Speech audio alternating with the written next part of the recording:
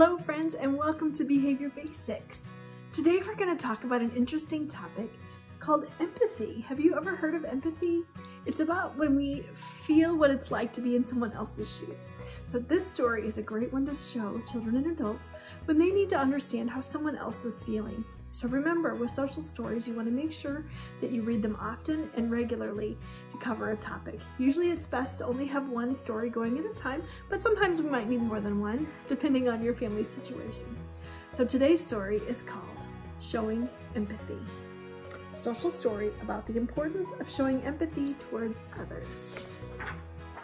Empathy is understanding and sharing the emotions and feelings of others.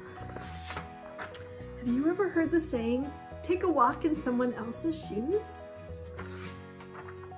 This saying means that in order to show empathy, we must think of how we would feel in someone else's situation. When you're showing empathy, you are seeing with the eyes of another, listening with the ears of another, feeling with the heart of another. I know I'm showing empathy when I stop and think about how that person must feel. I can show empathy by feeling the pain of my friend when they feel left out.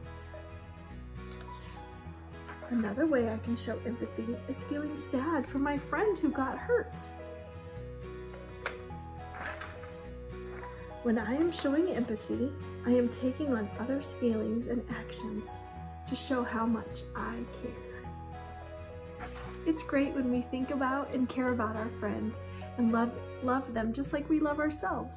I hope that this story is a great help to you and your family and that you can practice showing empathy. I'll see you next time on Behavior Basics.